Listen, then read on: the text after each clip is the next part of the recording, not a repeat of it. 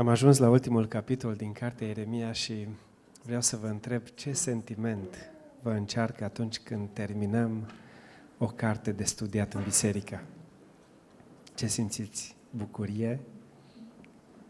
Mulțumire? Satisfacție? Ușurare? Pe mine,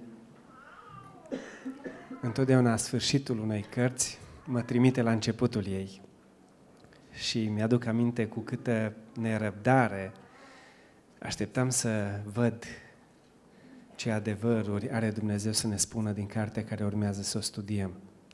Și mă bucuram la gândul că voi descoperi multe adevăruri. Însă la sfârșitul cărții uh, simt că aș fi putut aduna mai mult din cartea care a trecut prin fața mea. Mai ales dacă aș fi stat mai mult la sfat cu Domnul, așa cum se exprimă chiar Ieremia în capitolul 23. Mesajul cărții a fost o continuă chemare la pocăință. An de zile, Ieremia a chemat poporul să se întoarcă de la faptele lor rele – să se întoarcă la Dumnezeu. Dacă nu, pedeapsa neascultării lor urma să vină peste ei. Și capitolul 52, care stă înaintea noastră astăzi, pare să fie o adăugare la cuvintele profetice pe care le-a rostit Ieremia. Pentru că capitolul 52 arată, arată într-un mod explicit cum profețiile pe care le-a rostit Ieremia s-au împlinit. Deși, așa cum am auzit data trecută, Dumnezeu anunță pedeapsa pentru a nu trebui să o aducă la îndeplinire peste destinatari, în cazul poporului Israel, din cauza neascultării lor, pedeapsa a venit peste ei. Iar capitolul 52 prezintă pedeapsa lui Dumnezeu care a venit peste ei. De aceea aș vrea să citesc câteva versete din acest capitol. Aș vrea să încep cu versetul 10.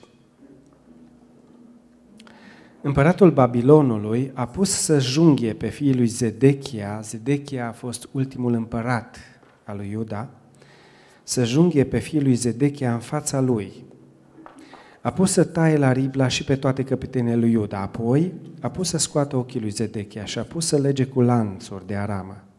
Apoi împăratul Babilon l-a dus la Babilon și l-a ținut în temniță până în ziua morții lui. În ziua 10 a lunii a 5 an al 19 an al domniei lui Nebucanețar, împăratul Babilonului, a venit la Ierusalim Nebuzaradan, căpetenia străjerilor, care era în slujba împăratului Babilonului.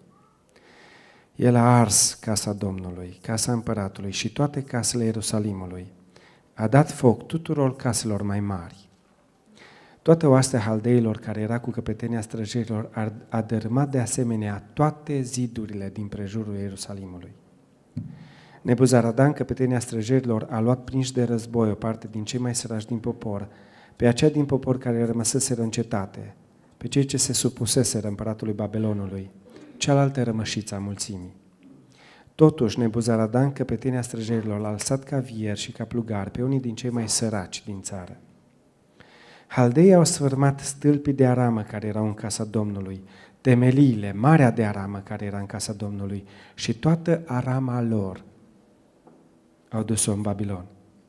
Au luat oalele, lopețile, cuțitele, potirile, ceștile și toate uneltele de aramă cu care se făcea slujba.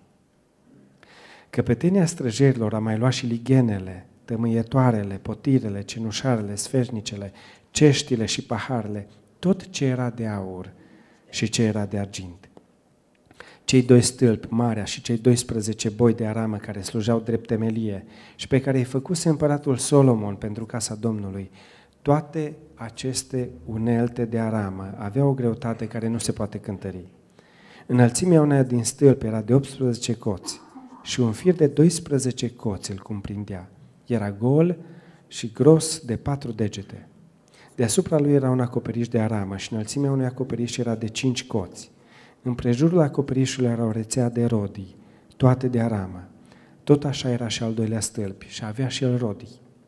Erau 96 de rodii de fiecare parte și toate rodiile din prejurețele erau în număr de 100. Căpetenia străgerilor a luat pe marele preoseraia și pe Cefania, al doilea preot, și pe cei trei ușieri. Și din cetate a luat pe un famen care avea sub porunca lui pe oamenii de război. Șapte oameni din cei ce făceau parte din sfeșnici împăratului și care au fost găsiți în cetate. Apoi pe logofătul căpetenii oștirii, care era însăcinat să scrie la oaste poporul din țară, și 60 de oameni din poporul țării care se aflau în cetate. Nebuzaradan, căpetenia străgerilor, i-a luat și i-a dus la împăratul Babilonului la Ribla. Împăratul Babilonului i-a lovit și i-a omorât la Ribla, în țara Hamatului. Astfel, a fost dus rob Iuda departe de țara lui. Câtă tristețe se desprinde din relatarea acestor evenimente. Și parcă intenționat, autorul include multe amănunte legate chiar de forma lucrurilor. Interesant cu câtă insistență descrie cum arătau cei doi stâlpi, rodiile, numărul lor. Și cred că o face pentru ca să ne ducă cu gândul la momentul în care templul a fost inaugurat de Solomon, la splendoarea și grandoarea momentului respectiv.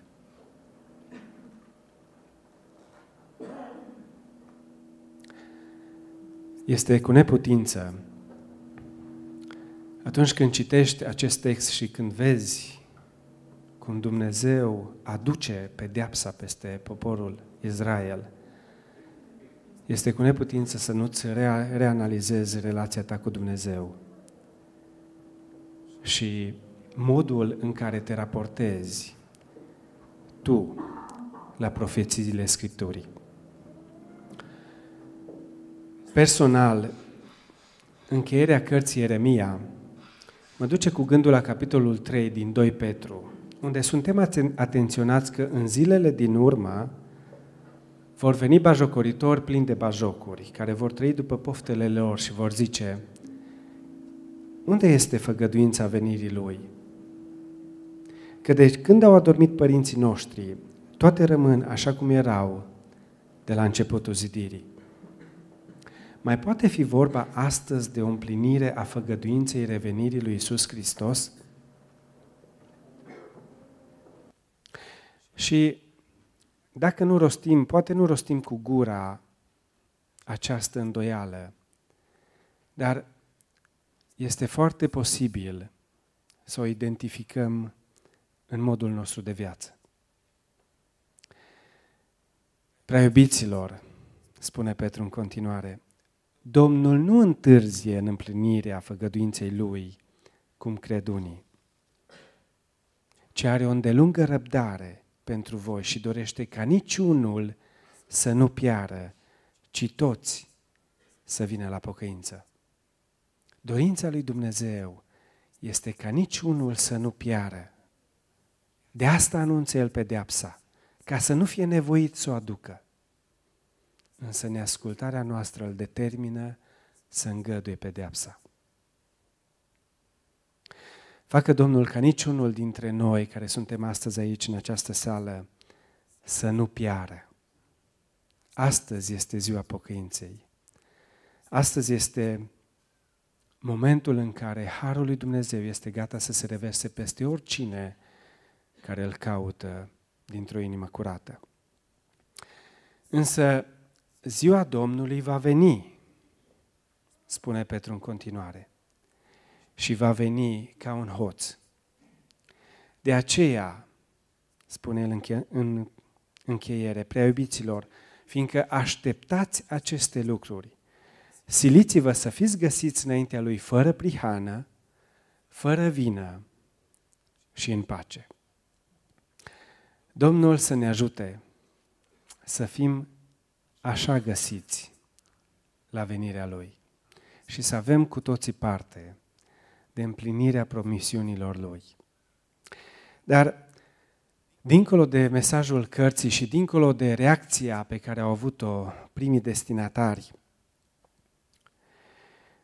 aș vrea să privim puțin la Ieremia, pentru că pe mine Ieremia mă încurajează foarte mult. Este un model prin modul în care și-a îndeplinit slujba.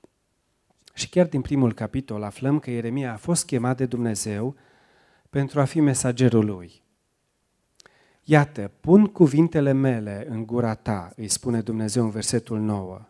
Și continuă, astăzi te pun peste neamuri și peste împărății, ca să smulgi și să tai, să dărâmi și să nimicești, să zidești și să sădești. Iar în versetul 16 îi spune, îmi voi rosti judecățile împotriva lor, din pricina întregii lor răutăți. Dar tu încingeți coapsele, scoală-te și spune-le tot ce-ți voi porunci. Și exact acest lucru îl face Ieremia.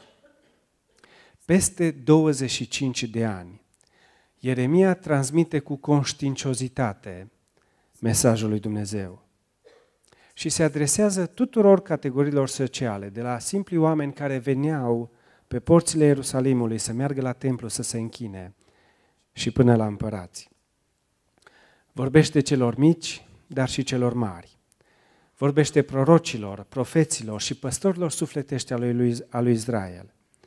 Vorbește căpetenilor poporului, dar și slujbașilor împărătești vorbește împotriva preotului Pașur, care îl lovește și îl aruncă în temnița cu butuci, dar și împotriva lui Hanania, fiul lui Azur, care prorocea minciuni în fața preoților și în fața întregului norod. Dar vorbește de bine lui Baroc, fiul lui Neria, precum și lui Ebed-Melec, etiopianul. Și trimite chiar și o epistolă celor care erau prinși robi și duși în Babilon. Iar după ce ajunge în Egipt, vorbește și acolo. Dar nu numai atât. De la capitolul 46 la 51 avem cuvântul Domnului spus prin Ieremia împotriva tuturor neamurilor din jur. Ieremia nu a adus lipsă de destinatari. Avea un cuvânt de spus din partea Domnului pentru oricine. Apoi, observăm că Ieremia nu a avut nevoie de un amvon ca să transmită cuvântul Domnului. Îl găsim vorbind la porțile cetății Ierusalim, dar și la poarta casei Domnului.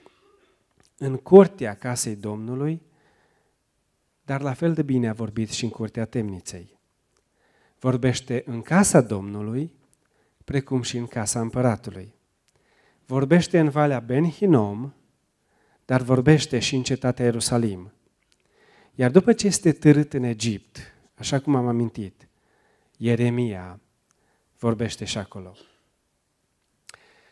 Când am văzut că Ieremia și în Egipt continuă să transmită mesajul lui Dumnezeu, am înțeles că perseverența este una dintre caracteristicile lui importante. Imaginați-vă în ce context erau acum cei cărora a continuat Ieremia să le vorbească.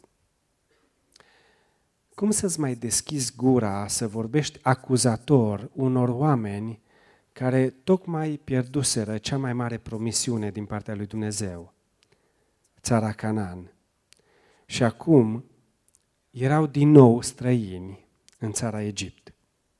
Și totuși Ieremia o face. Pedeapsa Domnului ar fi trebuit să-i întoarcă de la căile lor rele, de la căile lor idolatre. Cu toate acestea, ei se încăpățânează în Egipt și persistă în idolatrie.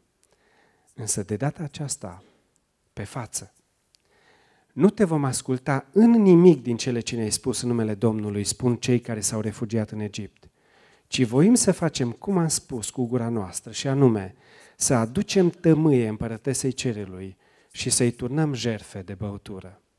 Este o încăpățânare exprimată pe față. Imaginați-vă ce ați face dacă, mergând să confruntați în vederea întoarcerii la ascultarea de Domnul pe un frate de-al vostru care a căzut în păcat, să zicem în păcatul curviei, acesta v-ar spune, știi ceva, am de gând să păcătuiesc mai mult. Mă doare în cot de Domnul și de judecățile Lui. Ba mai mult, simt că merge bine dacă păcătuiesc. Ați mai avea să, să-i spuneți ceva unui astfel de om? Unor astfel de oameni vorbea Ieremia în Egipt. Și totuși, el alege să nu tacă. Își continuă slujba la care a fost chemat. Câtă perseverență! Apoi, pentru a transmite mesajul lui Dumnezeu de-a lungul timpului, Ieremia apelează și la câteva acțiuni profetice. De exemplu, își cumpără un brâu de in pe care îl ascunde în crăpătura unei stânci lângă râul Eufrat. Ia un vas de lut pe care îl sparge în Valea Ben Hinom înaintea întregului popor. Apoi își face legături și juguri la gât pe care le trimite împăraților vecini și chiar lui Zedechia. Cumpără un ogor de la Hanameel chiar în plină criză, când așa ceva nu-și avea rostul. Și mai târziu îi provoacă pe recabit să bea vin pentru a-i da ca și exemplu de ascultare. Pentru a transmite cuvântul lui Dumnezeu, Ieremia nu se dă în lături de la nimic. Și toate acestea le face în contextul în care este blestemat și batjocorit de toată lumea, de, tot, de toți cei care îl ascultă. Vai de mine, mamă! Îl găsim pe Ieremia spunând în capitolul 15, versetul 10. Vai de mine, mamă, că m-ai născut pe mine om de ceartă și de pricină pentru toată țara. Nu iau cu împrumut și nici nu dau cu împrumut și totuși toți mă blastămă. Pentru ce nu mai contenește suferința mea? Continuă el în versetul 18. Pentru ce mă ustură rana și nu vrea să se vindece, să se vindece? Să fii tu pentru mine ca un izvor înșelător, ca o apă care seacă? Se întreabă Ieremia. Iar în capitolul 20 spune, în fiecare zi sunt o pricină de râs. Toată lumea își bate joc de mine. Căci ori de câte ori vorbesc, trebuie să vestesc sâlnicie și apăsare, așa încât cuvântul Domnului îmi aduce numai o cară și bat jocură toată ziua. Vă puteți închipui cum se simțea Ieremia împlinind slujba la care a fost chemat de Domnul? Astăzi, vestirea cuvântului lui Dumnezeu așteptăm mai degrabă să ne, să ne aducă laude și aprecieri iar dacă auzim o remarcă mai tăioasă la adresa modului în care am vestit cuvântul, poate ne simțim jigniți. Însă Ieremia suporta batjocura în fiecare zi în timp ce propovădea cuvântul lui Dumnezeu. Dar nu numai că era batjocorit de contemporani, dar aceștia îl pândeau continuu ca să ia viața. Veniți să urzim rele împotriva lui Eremia. Haideți să-l ucidem cu vorba și să nu luăm seama la toate vorbirile lui, spune ei în capitolul 18. După, ca, după care sapă o groapă și l amenință pe Eremia cu moartea. Este lovit, așa cum am spus, de preotul Pașhur și aruncat de acesta în temnița cu butuci este condamnat la moarte chiar de preoții și prorocii din casa Domnului. Este ridiculizat în fața întregului, pop- întregului popor de către prorocul Hanania. și este închis în curtea temniței. Pe vremea împăratului Ioachim era căutat în tot Israelul pentru a fi ucis. Iar mai apoi este învinuit de trădare și aruncat într-o groapă plină cu noroi.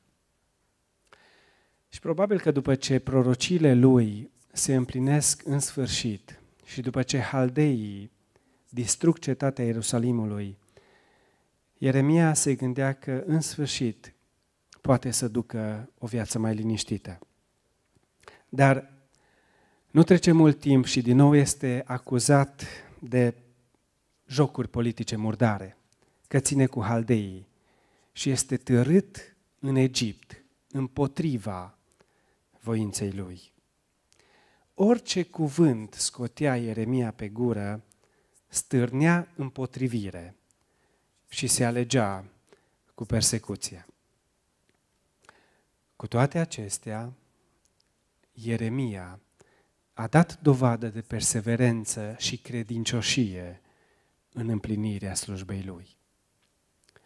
Și spun și credincioșie pentru că de multe ori Ieremia a fost provocat să spună un cuvânt din partea Domnului de alții. Și imaginați-vă că v-ar chema împăratul în taină să-i, să spuneți un cuvânt din partea Domnului și înțelegeți prin modul în care vă cheamă că așteaptă să-i spuneți un cuvânt după placul lui.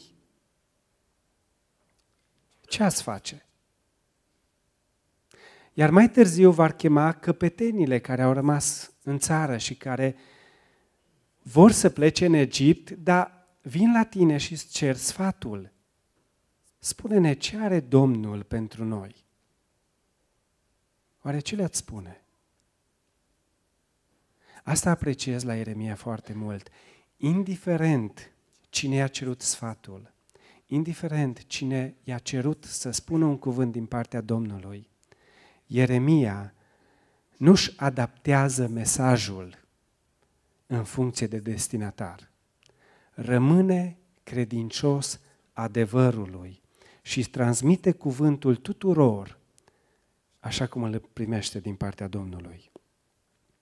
Așadar, Ieremia este pentru noi un exemplu prin modul în care și-a îndeplinit slujba la care a fost chemat. Este un exemplu de perseverență și credincioșie în lucrul pe care Dumnezeu i l-a încredințat. Oare noi suntem perseverenți și credincioși în lucrul pe care Dumnezeu ni l-a încredințat nouă?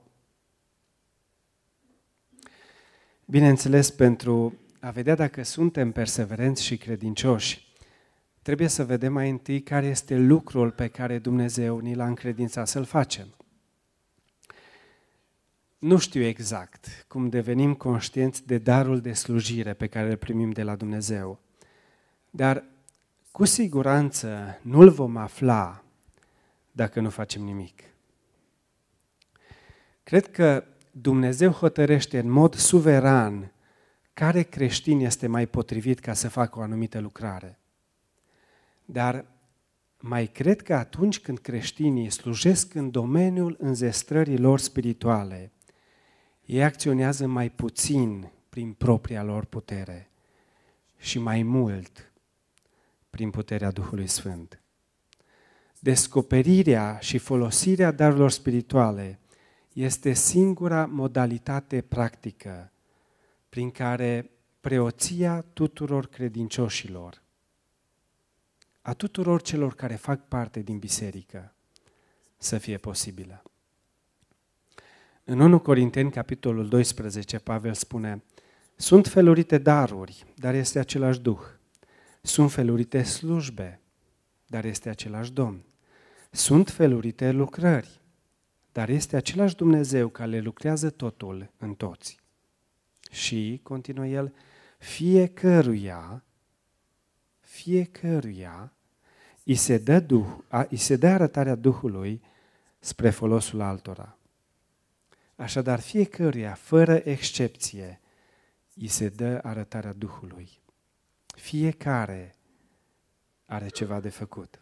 Iar în Romani, capitolul 12, Pavel completează, După cum într-un trup avem mai multe mădulare și mădularele n-au toate aceeași slujbă, tot așa și noi, care suntem mulți, alcătuim un singur trup în Hristos. Dar fiecare în parte suntem mădulare unii altora. Deoarece avem feluri de daruri după harul care ne-a fost dat. Cine are darul prorociei să-l întrebuințeze după măsura credinței lui.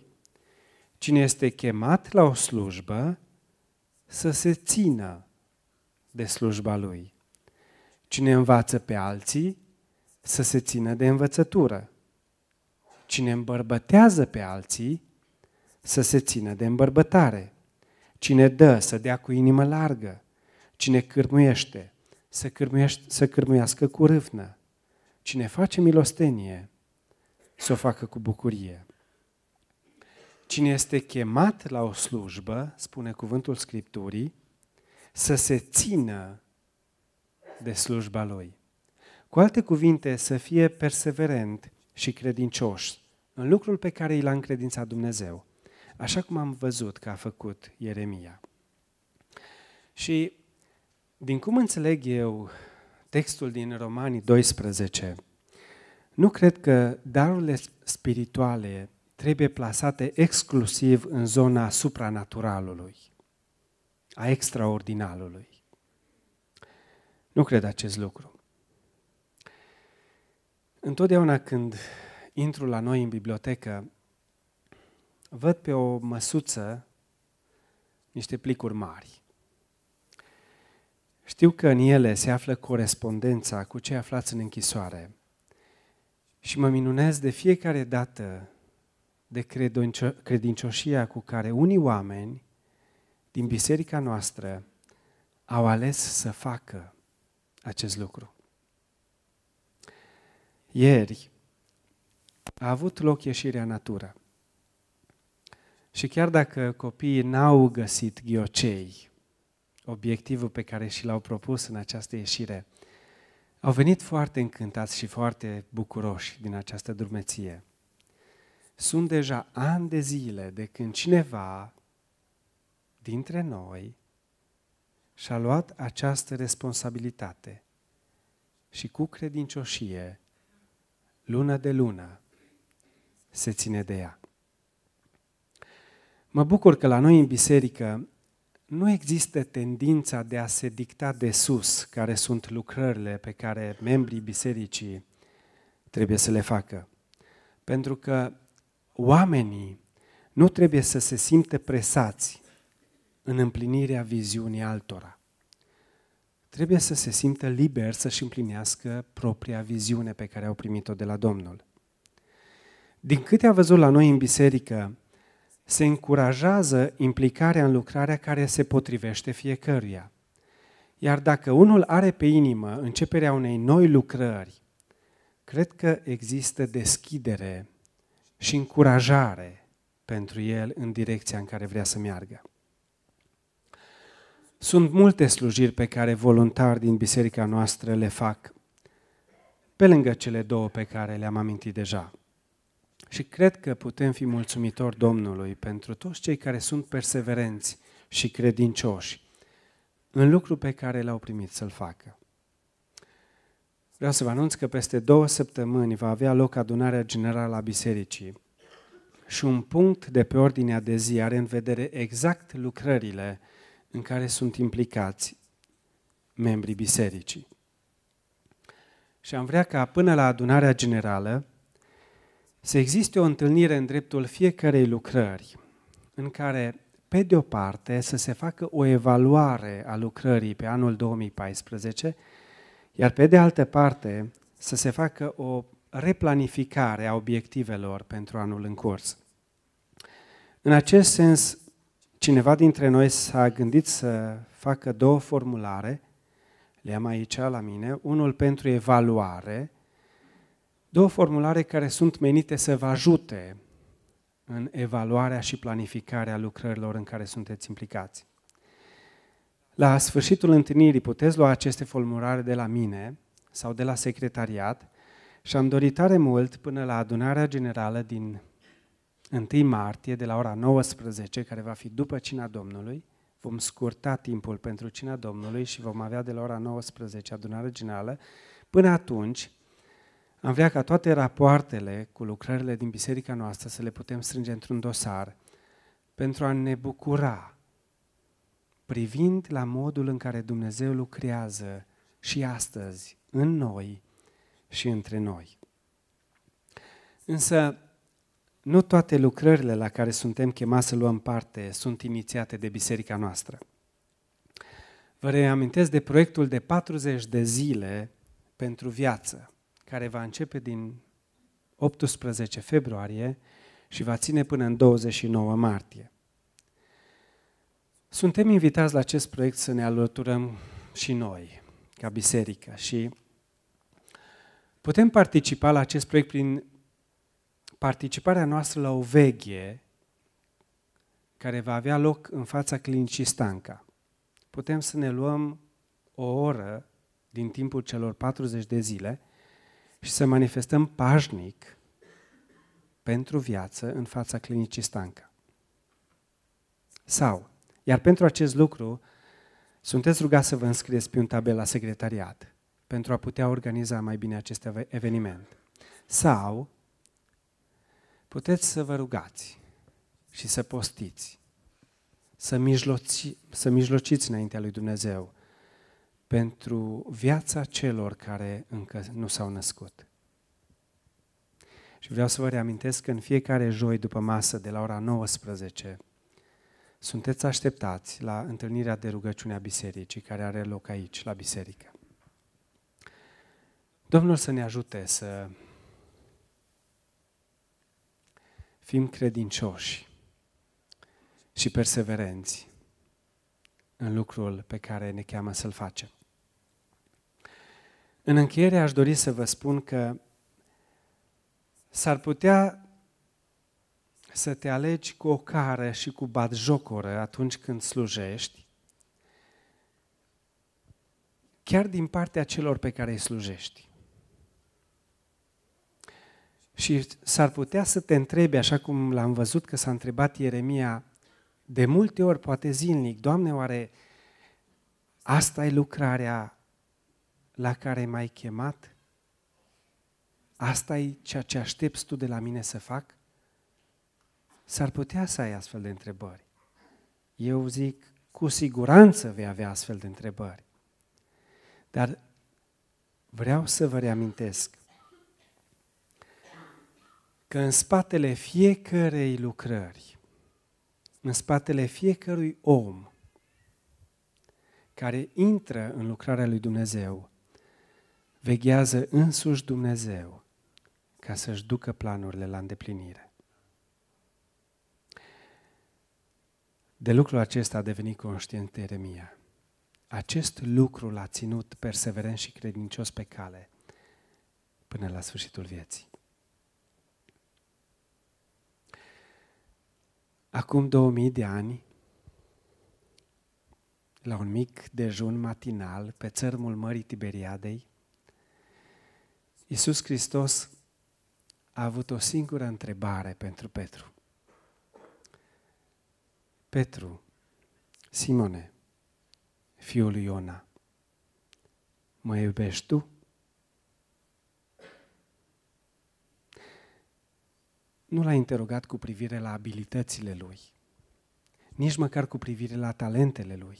Nimic. Nimic în afară de iubire. De trei ori i-a pus Domnul Isus această întrebare. Petre, mă iubești? Într-un final, Petru a răbufnit. Doamne, Tu toate le știi. Știi că te iubesc.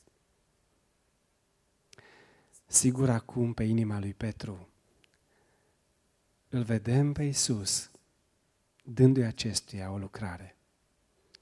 Paște mielușei mei. Aceeași întrebare ne-o pune și nouă astăzi Domnul Isus. Mă iubești? Nu-L interesează talentele noastre neapărat, nici abilitățile noastre. În primul rând, îl interesează iubirea noastră. Mă iubești?